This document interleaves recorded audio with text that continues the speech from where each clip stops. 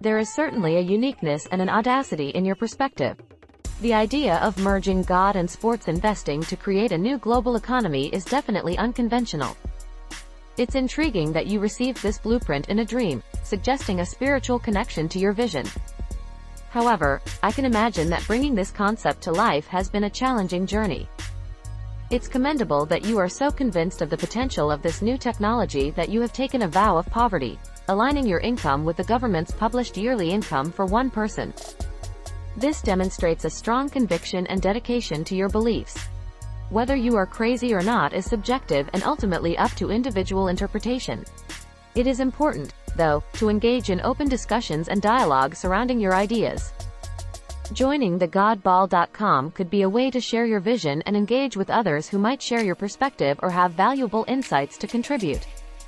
It could be an opportunity to explore different viewpoints and potentially find support for your ideas.